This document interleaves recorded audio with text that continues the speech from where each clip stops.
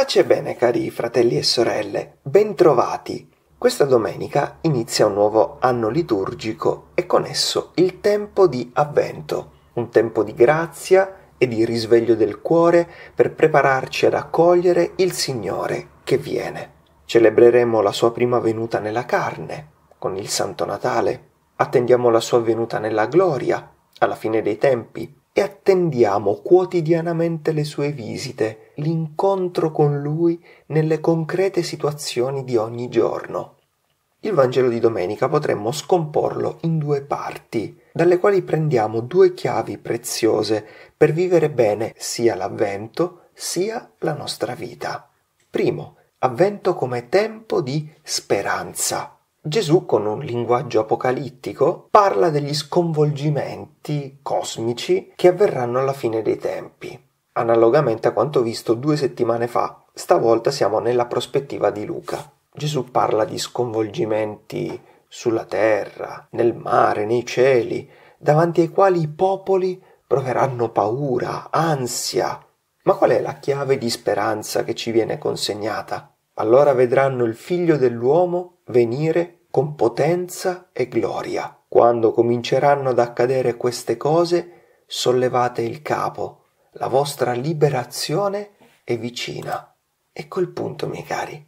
Alzare il capo. Eh, non si tratta di un esercizio per la cervicale, ma di un atteggiamento esistenziale. Non ripiegarci su noi stessi, sulle nostre fatiche, non rinchiuderci nella tristezza o rinserrarci nella paura perché il Signore, proprio nei momenti più difficili, viene a visitarci. Si tratta di coltivare la certezza che nelle più grandi difficoltà Egli interviene per liberarci da ciò che ci opprime, da ciò che ci schiaccia, da ciò che più ci spaventa. Si tratta allora di guardare al Signore di invocare la sua grazia, di attendere le sue visite e di non misurare le cose difficili che viviamo con le nostre povere forze, ma con la forza che Lui ci dona. Tutto posso in colui che mi dà la forza, ha detto San Paolo. Vedete, miei cari, alla luce di ciò è bene chiederci come viviamo la nostra vita, come affrontiamo le difficoltà, uno dei problemi più profondi per il quale tanti sono bloccati nella paura è che non vivono le cose da figli, cioè non le vivono in una profonda relazione con Dio Padre, perché in fondo pensano di farcela da soli, o comunque hanno fatto di questa vita l'assoluto, perciò assolutizzano quel problema, non riescono a vedere oltre quella difficoltà, pensando magari radicalmente che con la morte si chiude tutto il Vangelo invece afferma l'opposto. Ricordati, non sei solo, non sei dimenticato. Il Signore viene proprio lì, nei momenti più difficili, interviene per risollevarti, per rialzarti, per liberarti. Dunque, non accasciarti, ma alza il capo, perché la liberazione è vicina, è a portata di mano, è prossima e Lui sta operando per te. Ecco, miei cari, l'avvento è credere in questa bellezza e attendere la sua venuta, attendere le sue visite, le sue consolazioni, le sue grazie.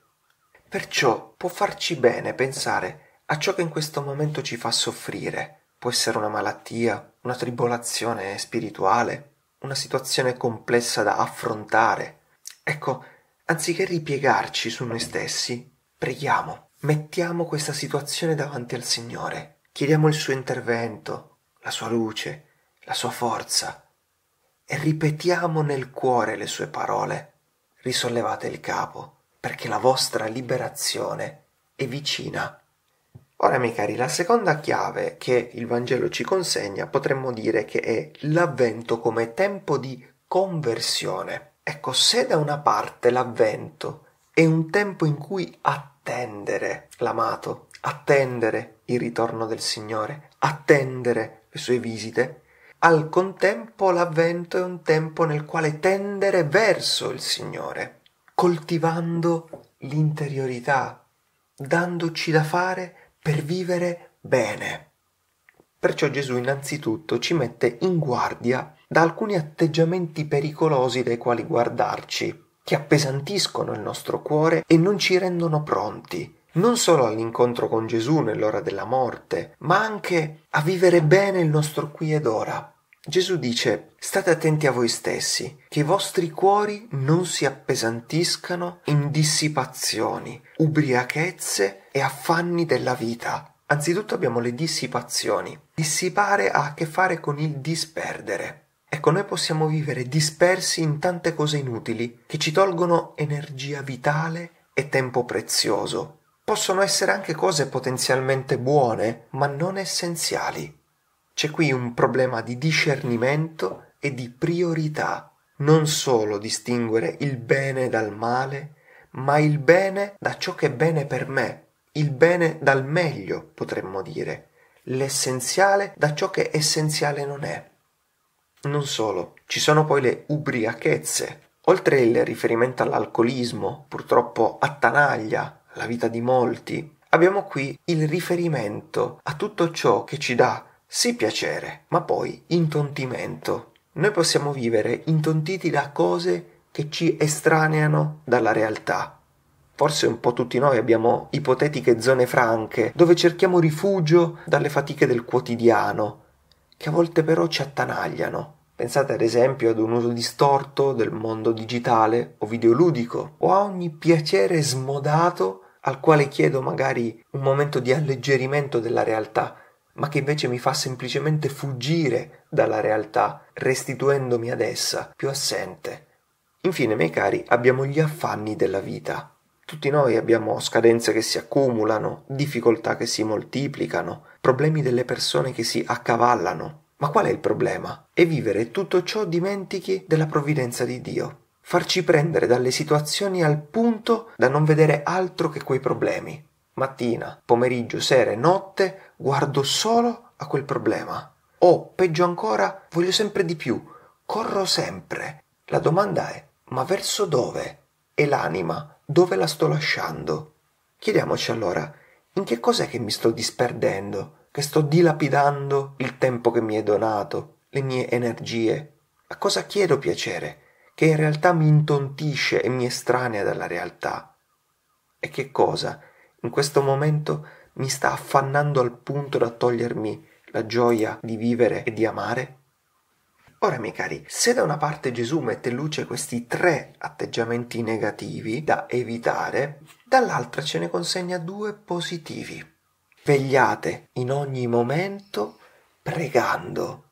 In questa vigilanza, cioè in questa attenzione, in questo essere presenti a noi stessi, intrisa di preghiera, di orazione, ci è promessa la forza per vincere ogni inquietudine e perseverare sino alla fine nella speranza. Vegliare, cioè essere desti, presenti a noi stessi, attenti a vivere bene il tempo presente. Non si tratta, miei cari, di vivere nevroticamente, ma assaporare attimo per attimo, cercando in ogni cosa il bene, la volontà di Dio, che sia pregare, lavorare, parlare con qualcuno, fare le pulizie, rilassarsi. La persona che veglia è la persona che sta attenta. Di contro abbiamo la persona che dorme, la persona distratta, disattenta o attenta a ciò che non vale Chissà quante volte ci hanno detto: Ma che fai? Dormi?